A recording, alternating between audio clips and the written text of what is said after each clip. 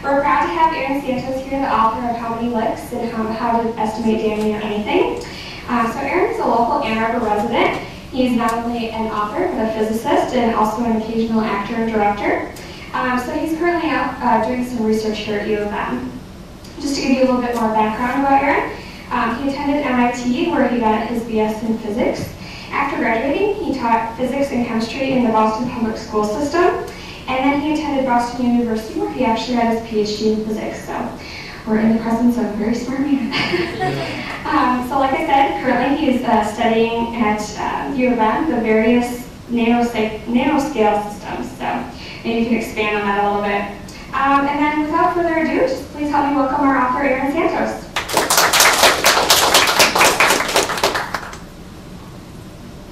You guys all hear me without this? or is it- Okay. Since I don't know what to talk about. Or-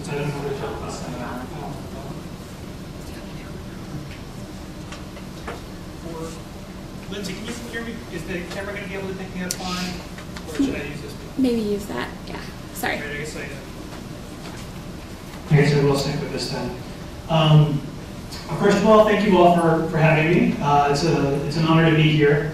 Uh, But I have to say, I'm a little bit nervous because this is kind of a new experience for me. I- I'm not really used to the whole author thing, and I haven't really given very many talks on this. So this is a little bit of an experiment for me. Uh, And it's not, it's not made easier by the fact that the book that I wrote is essentially a book of math problems. So trying to talk for an hour or so about essentially just doing the math that you all hated in high school, uh, it's, it's really hard to make that, that interesting. So I spent the last two weeks really trying to, to find a way to, to make this entertaining for you guys. Um, so toward that end, um, I'm going to talk a little bit about, first of all, why you would want to do things like approximations, and why would you want to calculate things. Uh, I'll tell you a little bit about one method that uh, I use in the book to, to show how to approximate just about anything. And then I'll give you a few hopefully fun examples of that.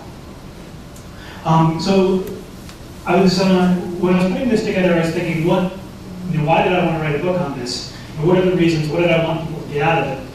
And the first thing I was thinking was that, you know, doing, doing math really helps you develop critical thinking and reasoning skills.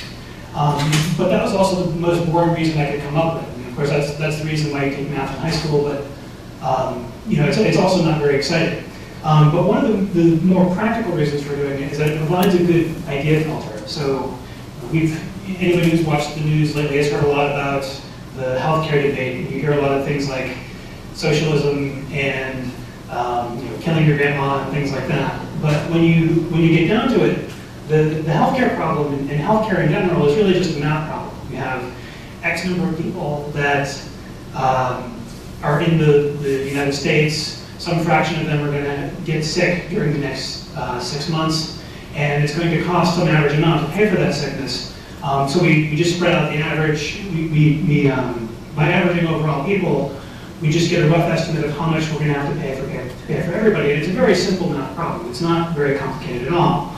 Um, so really, if, if we're going to solve things like this, it's, it's helpful to just be able to do, go through the math and have a very informed public debate on things like this. So that's kind of the practical reason for these, for doing these kinds of problems. And then the, um, the last one is really that it's, it's just kind of a fun game to play. Uh, and I'll give you an example of what I mean. So I was at um, the original Spider-Man movie, and I was sitting there with a friend, and Tobey Maguire is on screen, and he's shooting web and shooting web shooting web. And, um, and if you look at it, the web's like this thick, and it's, you know, it's going, you know, 30 meters out from him. And the friend sitting next to me was just like, how much does he have to eat to produce all that web? Um, and nobody ever actually sits down and takes the time to calculate it, uh, unless you're a geek like me. Um, but that's, that's basically the types of things that I do. It's, it's akin to doing, uh, I imagine doing like a Sudoku or like a crossword puzzle for anybody else. So I want to talk a little bit about how exactly you would go about calculating something like the Spider-Man problem. And one method that you could use to do that um, is something called the Fermi approximation. Um, so Enrico Fermi, who was an Italian physicist, and a little bit of trivia for you, uh, half the particles in the universe are named after him. Um, but he, he popularized this, this method of computing things within an order of magnitude. The, the, the approximation bears his name. It's called Fermi approximations. Um, and basically, is, he- he would go up to his students and say, you, you know, tell me the number of piano tuners in Chicago. And of course, you know, I can tell by the, the blank stare on your face that you have no idea how to do that. And that's basically what his students thought. But the, uh, but what he showed is that through very simple approximations, you can, you can actually calculate this and just about anything else. Just by starting with what you know and, and using very simple math to, to do these order of magnitude estimates. So the first step in this process is to use what you know or look up what you don't know. So I can start by saying, well, you know, I can't, I can't figure out just offhand how many, I don't know offhand just how many uh, piano tuners are in Chicago. But I know roughly 5% of my friends, you know, like one out of 20 of my friends owns a piano. If I go down my Facebook page, I say, well, this person's musical, this one's not, this one's not, this one's not. And 5% seems like a reasonable number. Now, you say, well, that, you know, you could be way off on that. And you're true, I could be way off on it. But I know, I know that it's less than 50% of people, because that would just be like, you know, half of my friends don't own piano. So it's definitely less than that. But I know it's also more than one out of every 200 people, because I know quite a few people with pianos, and it, it would be it would be odd to have that few pianos. So I know that that's somewhere in the bounds of what you expect to be reasonable. And you basically go down the line, and you, you write down all the things you know. So the next thing is that if you have a piano, generally you get it tuned about once a year. Now, if you're if you're very neglectful, you might get it tuned once every three years. But you're not going to get, get it tuned once every 30 years. So you're, we're, we're in the bounds of what's reasonable. You're also not going to get it tuned you know, five times a year, because that's that would be very expensive, unless, unless you're somebody who really plays it often. And that, and that uh, most, most people are just getting tuned you know, one or two times a year. You go a little bit further, you say maybe a piano tuner tunes two, two pianos a day, and it's helpful to know the number of people in Chicago is about 3 million people. You could just look that up on Google, or you could know that roughly the number of people in, in a big city is about a million people, and Chicago is a pretty big city, so maybe it has a few million people in it. So these, these are all the things that you want to start off with. And the next thing you want to do is just like you did in high school chemistry class, you just want to cancel units. So if I wanted to calculate the number of pianos, well, I know there's 3 million people in Chicago. I know there's one piano per every 20 people. So I just cancel units in the same way that I did canceling um, you know, grams per mole or whatever you, whatever you did in high school. You know, it's, it's the same exact thing. So 2 divided by 2 is 1, 3 divided by 3 is 1, people divided by people is 1. Do that excessively. So people will cancel with people, pianos will cancel with pianos, years cancels with years, days cancel with days cancels with days, tunings cancel with tunings, and if you multiply all these numbers together, at the end of the day, you'll calculate, you'll get about 200 piano tuners in Chicago. So starting from absolutely nothing, you, you really can just build up and figure out a way to, to come up with a reasonable answer. Now you might ask, well, how do you know that this is anything close to the actual number? Well, you look, if you look in the Chicago Yellow Pages, there's about 40 listings for tuners. So we're off by less than a factor of 10. And we're probably even a little bit better than that because the, not every tutor is going to pay for a listing, and the, the ones that are listed might have several tutors in them. So we're, we're actually pretty close in this regard. So um, next I'm going to get into what I, what I hope will be uh, some fun examples for you guys. And I'm going to start with a disclaimer uh, that I, I just want to say these are all just estimates. I'm making no claims about their factualness. Um, so please don't sue me if I'm getting anything wrong. Um, and we're going to start with this guy, which I'm assuming most of you all know, but for those who don't know him, uh, this is the Stay Puft Marshmallow Man. He is a, uh, I suppose you could call him a character in the, he, who appears in the last climactic battle in the Ghostbusters movie where he's trying to kill all of them. But the Ghostbusters movie leaves one question that's unresolved. How long would it take to eat it? So, again, you want to start with what you know. If you take a marshmallow, you know it's about an inch tall, maybe half an inch wide. Um, so from that, I can calculate the volume of the marshmallow uh, just by taking an inch by half an inch by half an inch. And if you look at the back, on the back of a package of marshmallows, you can find that there are about 25 calories in a marshmallow. So putting those things together, I can say that there's about 75 calories per every cubic inch of marshmallow. Now, looking at Mr. Stay Puft, he's about the size of a 10-story building. Each, each story of a building is going to be about 14 feet, therefore he's going to be about 140 feet tall. He's going to be a little less than half of that amount wide. So we'll say 60 feet wide, we'll say 60 feet deep. And uh, from that, I just multiply all those numbers together and I get his, his total volume, uh, which will be on the order of uh, 500,000 cubic feet. And I can also convert that to inches. So then the last part is, like we said before, just cancel the units, multiply calories per inches cubed by inches cubed, and you'll get the number of calories, about 64 billion calories. Now, if, uh, if you take the FDA recommended 2,000 calories per day diet, you can calculate, calculate that it would take about 8,000 years to, to eat it. So this is, this is a pretty fun example, um, I hope. And, uh, but I know there was a little bit of math there, and math can tend to lose people, so I want to hopefully get your attention back. Um, so our, our next problem, we'll be talking a little bit about sex. And since you all work at Google, I can only assume that you're thinking one thing. But uh, I'm, I'm, I'm here to tell you that there's, there's, there's more things in life than just coming up with the, the, the world's greatest search algorithms. Um, so the, there's a problem with this one, with this calculation, and that it's, it's hard to start with what you know. Because um, there's many different types of people, and as you can see by the wide variety of people that I've included in this slide, some of them are going to be having more sex than others. Um, in some cases, a lot more sex than others. Uh, but we need to come up with some numbers for this. So we're going to use upper and lower bounds to get a rough idea of where uh, the average amount of sex that people are, are having. Um, so the question we're considering is, how many people are having sex right now? Now, if I asked you, each of, each of you, how often you have sex, each of you would give me a different number. Now, there's a lot of different people in the world. There's, there's everything from babies to really old people. You guys all look like mostly you're in your, your 20s, and many of you are probably in committed relationships, so you're going to be having sex a lot more than most people. But that being said, the babies really bring the number down. So on average, people are probably not going to be having sex once a day. The, uh, at the other end of the spectrum, the people who are having sex tend to have a lot of sex, so you're probably going to be having sex more than once a year. So on average, you'd expect that once a month seems like a reasonably good number. You know, it fits, it fits within the bounds of what we consider accept, acceptable, at least, at least by my standards. Um, so the next question is, you want to ask, well, how long does a typical sexual encounter last? Well, 10 hours, if, at least if you trust your Viagra commercials, seems a little excessive. Um, if your sex is lasting 10 hours, you should probably call your doctor about that. Um, so that one's out. Now, if your sex is only lasting 10 seconds, we should probably just skip this one and just, you know, we're not going to comment on that. Um, so 10 minutes seems like a reasonable amount of time for a typical sexual encounter. So if you take 10 minutes and divide that into a month, get your units to cancel, you'll find out that people are roughly having uh, sex 0.02% of the time. Or put another way, um, the probability that any of you in this room are having sex at this, at this instant is about 0.02%.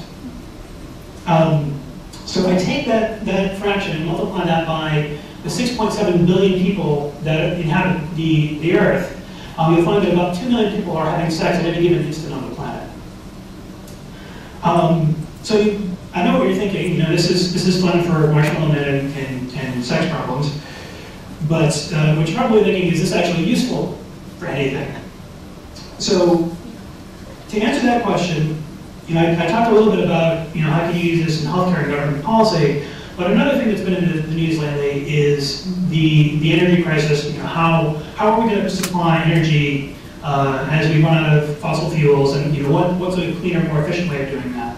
So you might want to ask, well, how much area would it take to just tile, tile some large you know, section of desert with solar panels and you know, can we, can we get all of, do we have enough space to get all of our energy with, with solar power? So to do this one, um, most of us don't have facts about uh, solar power just you know, stored away unless we do research in that area. Um, so it's helpful to do like a quick Google search just to, to find out some numbers. And, and doing that, we can find there's actually a mistake in this slide. It should be 3.2 times 10 to the 12 uh, watts used by Americans. Um, that's the amount of power that we use on, on uh, at, at any given time.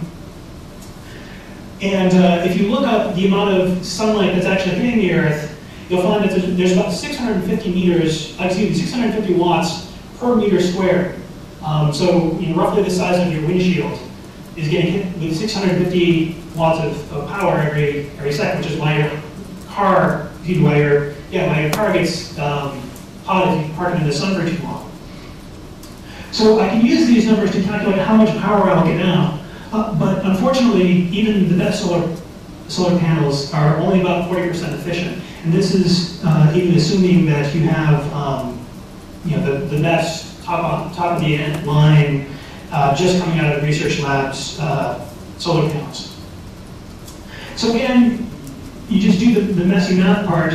You take your 3.2 times 10 to the 12 watts that you need, divide that by the amount of energy that you're getting out, and you'll find that you'll need about uh, 4,600 square miles of area just to power all of the United States. And that's about the size of Rhode Island. Um, now, obviously, the, the good people of Rhode Island probably don't want to give up their state just so they can power all the other states. Um, so there's a lot of different people who are thinking about, um, you know, where can you actually put these? There's there's a solar roads project um, where people are saying we should uh, tile tile the roads with solar panels, but you can start to, when you, when you have the power of these approximations at hand, you can start to think about how to solve these problems in a, in a practical and efficient way. Um, so I'm, I'm gonna, I'm gonna do one more problem, and I'm going to end with the, the age-old question. This is also where my book gets its title. How many licks does it take to get to the Tootsie Roll center of a Tootsie Pop? So, again, you want to start with things that you know. So I have, have somewhere the deep dark recesses of my pocket a Tootsie Pop. Now, as you can see, Tootsie Pop is about an inch thick. Uh, so it's to get to the Tootsie Roll center, it's going to be about no, a little less than a centimeter to, to actually hit the Tootsie Pop. Now, if I lick it, ah, you can tell it's been licked. As you can see, there's a little bit of, you know, aside from the saliva, you can tell it, it just changes the shape of it. Now I'm going to hand this to you. So, uh, yeah, go for it. If that's that is all you if you if you want it and you think I'm healthy. How do I estimate that? Well, that's uh, that that that might involve doing some some Google searches to find out a little bit about my health background.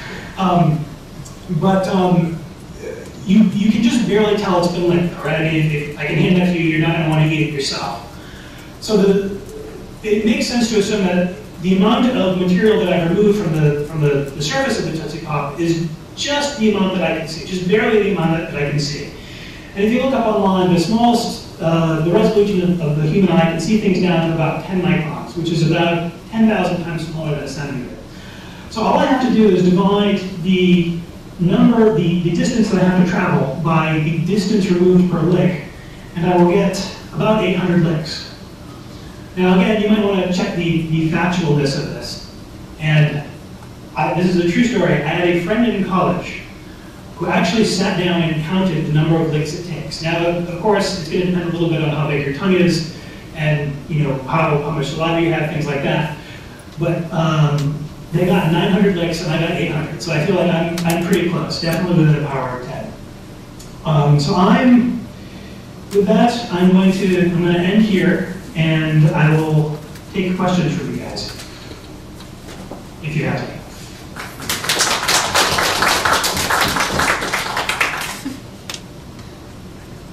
What made you decide to write this particular book? Um, that's uh, that's a pretty good question.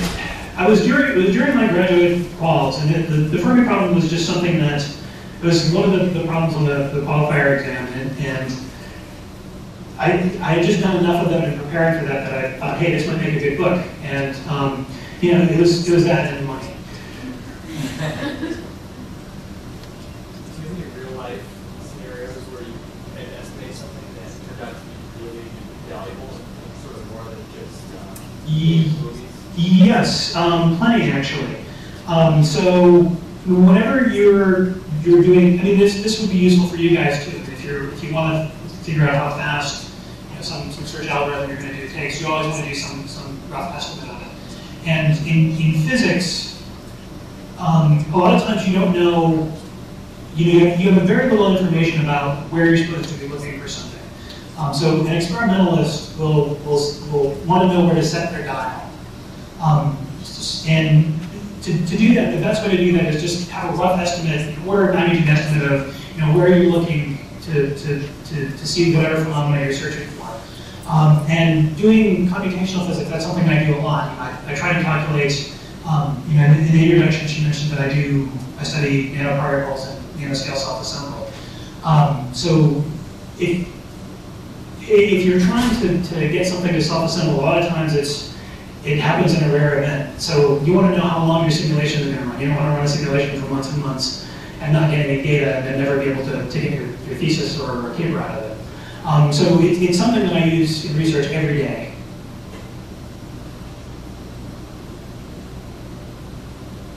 I have a question. Um, so I think it's hard for human minds to comprehend kind of the unit, right? So how much really is a mile? A mile, okay, you can kind of conceptualize. Where it gets really big or really small, I think it's becomes really difficult to trust some assumptions about, you know, how many baseball players have piano. I mean, that's kind of simplistic. But when you get to larger things, like how do you kind of get around that?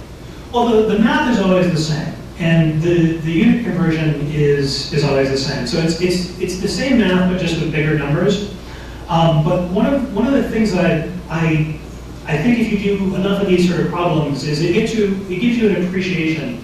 Um, you get, you get what I call, you, you start to build what I call numerical landmarks in kind of number space. You know, you know, you know that um, you can, you can spend $1,000 a day with um, if you have a million dollars, you can spend thousand dollars a day for like three years.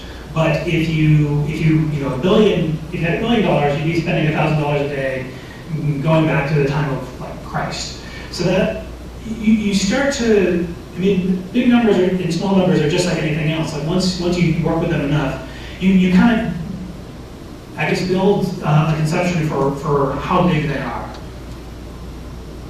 Um, so uh, another thing you can, you can, um, you know, another example is the number of stars in the sky, or you know, how big the, uh, the universe is, or how long the universe has been around. And these are all things that physicists estimate all the time. Um, and it's, it's, it's basically the same thing that they're doing there.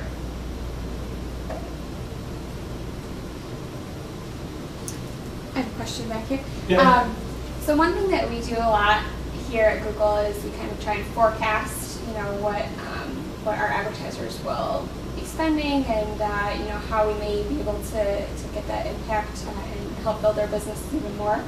Um, so do you have any suggestions or tips on how you know um, how we can better forecast? How to better forecast? Um, well, I don't, I don't know very much about, um, about advertising or, or business in general. Um, but I think any time that you can, you can sit down and say, you can set bounds on where things are going to be.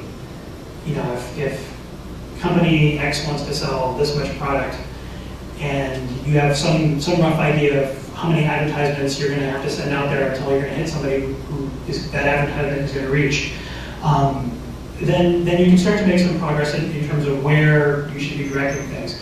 And, this sort of uh, approximation technique would definitely be useful for that, much like, much like anything else. But as far as specific examples for, for how it can be useful, I'm, I'm a little bit at a loss just because I'm not, I'm not familiar with that. Um, yeah. Did math always come easy to you, or do you have some tricks that you sort of learn along the way that help simplify it for you? Um, has math always come easy for me? I, yes and no. Um, I, I think you, you, I mean, you always learn tricks along the way, right? I mean, you, you know, your, your math teachers tell you that, every number, any integer multiplied by five gives you a number either either five or zero. There's always you know, these, these, these sort of tricks for it, but um, I, I, I think for me, I, I think I was always pretty good at math, but um, you know, anytime you can come up with a trick, it's, it's useful. I, I can't point to anything in particular and say that that was what, what helped me get over the hump.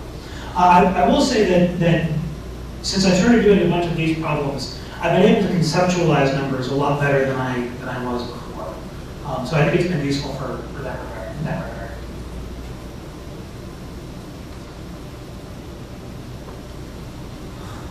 You dropped it? I dropped it.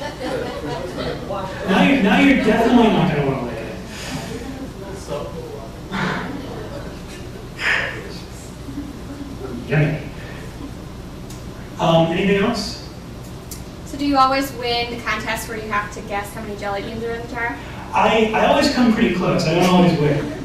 Um, that's, uh, you know, usually they put it in some odd shaped container to, to try to fool you a little bit. Uh, this is this is a great. Uh, if ever you're at a carnival, now you know how to guess the number of jelly beans in the jar. There's a, there's a funny story about that actually. So I was at um, in like I said, I'm new to this whole author thing. So when I we were, we were going through different titles for the, for the book, and actually one of the original book titles or, or covers that they had was this uh, this jelly bean uh, jar filled, and just because it's it's that's like the standard problem that you can do this for. Well, the, the problem is, that as, as we were going through titles, the titles we really wanted to the title we really wanted to use was was Guesstimation. It was something my friend came up with, and we thought it was like a clever pun. But it turned out that there was already a book on the market called Guesstimation. So, you know, I was, I was telling some people about it, and they were like, "Don't worry, don't worry. Titles aren't copyrightable. You can you can get away with it." So then the, the first thing that uh, my my publishing company gets back to me with the with the, the picture with the cover is the exact same cover picture as the book that is already published called Guesstimations, and it was it was the jelly bean copy. Um, so as, as much as I want to use, well, as I wanted to use that that uh, jelly bean example, I, I just couldn't do it because there was already a book out there with it.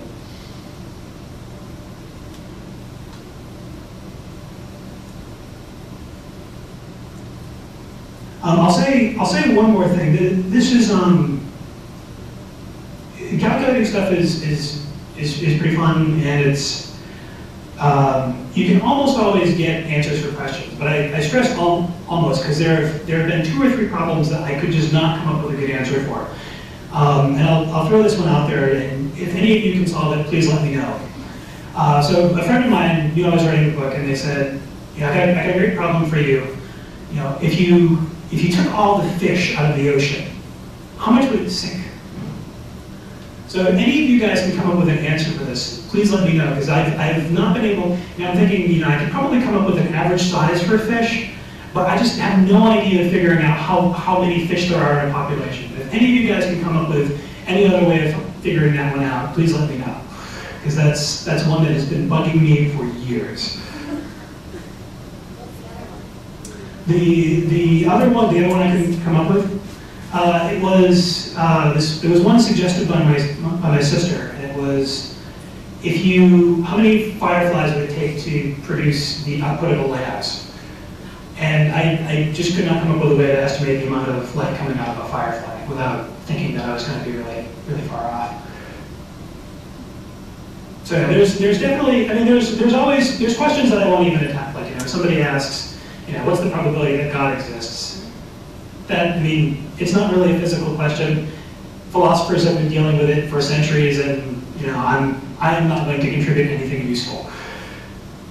so it, it, as long as, but as long as it's a physical question, usually you can come up with a pretty good pretty good estimate for the answer.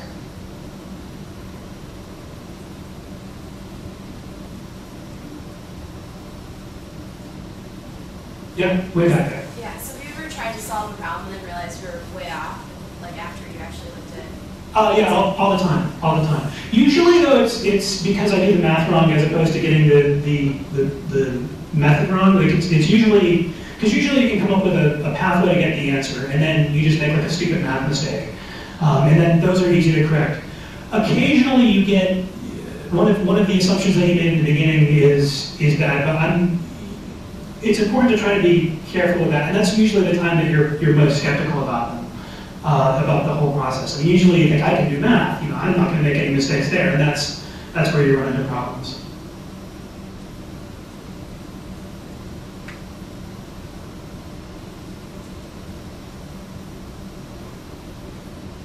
So I, I have to ask, is this like, I mean, I remember being in school and they would have like, you know, every once in a while they'd have a convention you get out of English class. Is this like that for you guys? Are you guys like trying to come up with questions because you, you don't have to go back to work if you stay here.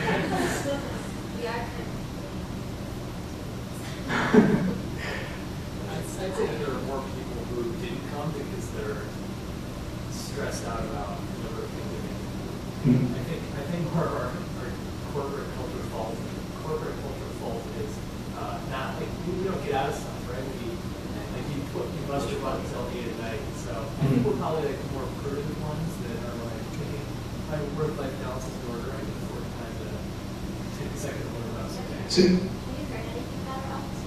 Um, I, I have not, but I, I see the video arcade over there, I see the piano over there, I see what looks like some sort of drum pa- playing kit over there, so I assume you guys are very busy and professional.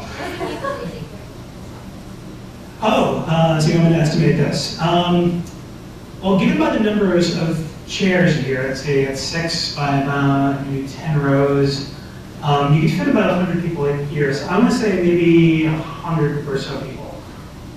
150 people. A power ten. Power 10? What, what's the actual number? Around two, two fifty. It's a lot. A lot of people at the time.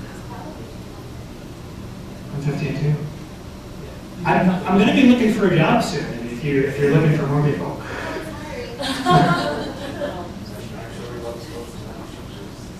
Built-in structure. I'm not sure what that would, you do like a little mini Google. Uh, I'm not sure what damage structures can do for you guys, though. Um, IB, IBM does a lot of weird research stuff. They, they are, they are pretty hardcore when it comes to fundamental research. Um, I mean, they were the guys who were moving around individual atoms and spelling out IBM with it, so they're, they're pretty intense. It would be harder to spell out Google just because there's more letters. Um, so any, any more questions? Things you would like me to venture an estimate for? Yeah. So this is kind of silly, but I feel like anyone who went through like the interview process here could attest to it. Sometimes these are questions that you get asked in interviews Mhm. and of like these weird brain teasers and I still haven't figured out if it's meant to like throw you off and put you on the spot and like show how you solve a problem or if you're supposed to be thinking outside the box, but Mhm. I know, um, one that I got was, um, how, how would you estimate the number of cans of paint you would need to paint half of the houses in the US? Oh yeah, that's, that's, you can do pretty standard. Yeah, well, I guess what we care about. Because I'm kind of curious if I was at least close. Well, there's? There's, um, there's about 300 million people in the US. Um, presumably you can fit four people, you know, well, say three people, make the math a little easier. Three people per home, so that's about 100 million homes. Um, and some people live in apartments, but we'll, we'll neglect that for now. And, um, let's see, where would you go from there? The amount of paint. Well, I, I had a can of paint that painted basically one wall in my, in my apartment. And I imagine an actual house would be like anywhere from 10 to 50 sizes of that wall. So that gives you a rough idea of how much you paint would need per house. And then you just multiply that by the number of houses. So that's, is that, is that something close to what, what you said? See, cool, so you already know what you're doing here. We'll see. What is the blue, like, the, the blue, would you have to figure out how much blue paint is manufactured in the US, or is that kind of like a, like, doesn't matter, it's just blue? What? See, now, that's why I got the question wrong. Did, did it have to be blue, or, or, like, did I have to take into account that there was going to be like a shortage of, of blue paint eventually, or is that? Yeah, so, um, actually the way I ended up answering was like saying that I would paint every single house, but only paint half the house blue, just because if you could figure out how much paint it would take to do a half of one house, then it'd be easier to multiply it out, but Right, right. no one would probably want half of the house to be blue, so I'm not sure if my answer was actually correct. No, I guess. We have some Michigan fans so. What? Where, where are the non-Michigan fans? No. You, you are not popular here, are you? No, we've got a good group here, green and white. Yeah, what do you estimate? What's that? In this office. In the office? Yeah, Um, in, in our state versus, uh, university fans. Um, well, that, that would be hard to estimate because the state fans tend to be a lot quieter because they know they're outnumbered. Um, Not me. Not here. Not- here, not in this office, I don't think. Well, when, when is, uh, when is, when, when are they playing state? October third. October third, okay. That's not the same.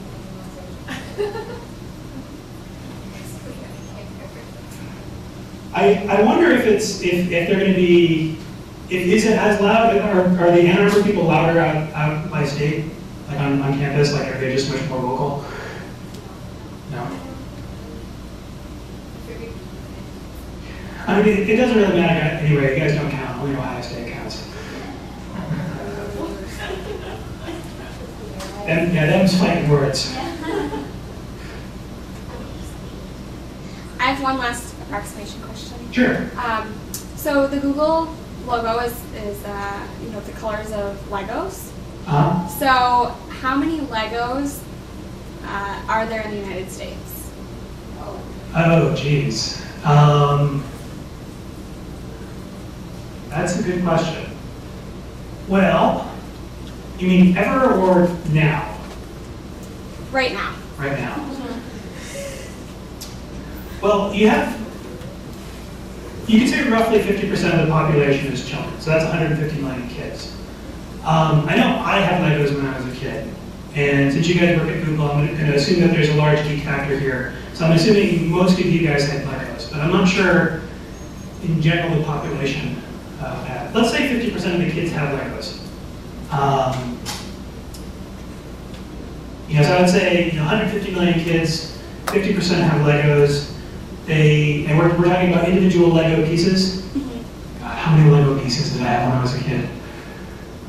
Um, all right, well, I built things that were like yay big. So if you're taking Lego pieces that are this big, probably be 10 by 10 by 10, so like maybe like a thousand Lego pieces per kid, uh, 150 million kids, half of those.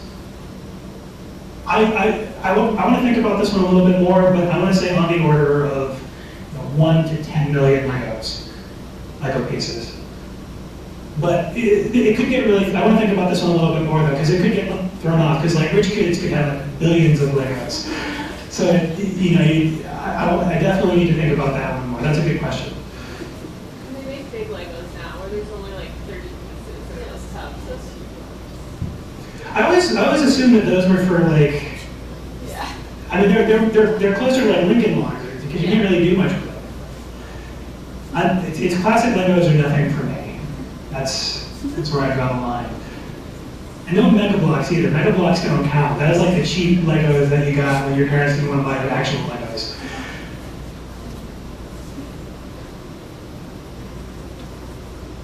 That's all I got. Well, thank you so much for coming, and